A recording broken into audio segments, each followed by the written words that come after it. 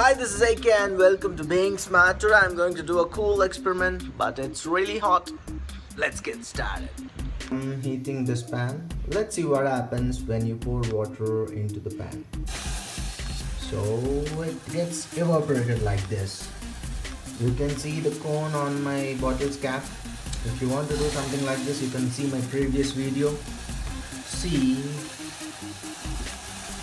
like this, the water gets evaporated. I will heat the pan for some more time. Now the pan is really really hot, steaming hot. Don't try this kids alone. Adult attention is really needed. So let's see what happens to the water. Oh my goodness, wow. Isn't it cool guys? Wow.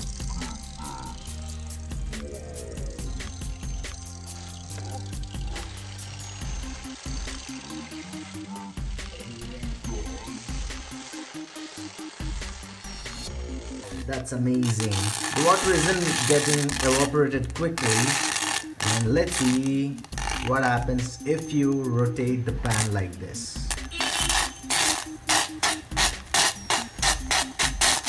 Can you see the water on the edge like that? Isn't it cool guys? Now you can't even hear the noise. Wow. This is cool, isn't it? Okay, you can see I have some food color. And let's put some food color water. Wow. Wow that's amazing. Isn't it cool guys? Be careful while doing this now let's see what happens if I rotate it like this wow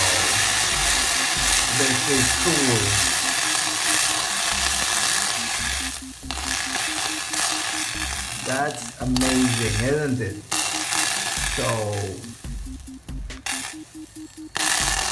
you can see the water. It's really cool. But the water is spilling all around the stove like this. It's spilling all around the stove. So be careful while doing this. And that's it. Hope you like this video guys. If you like it, first try this and comments below. Okay.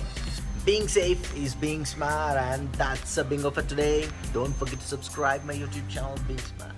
I'm looking a little weird.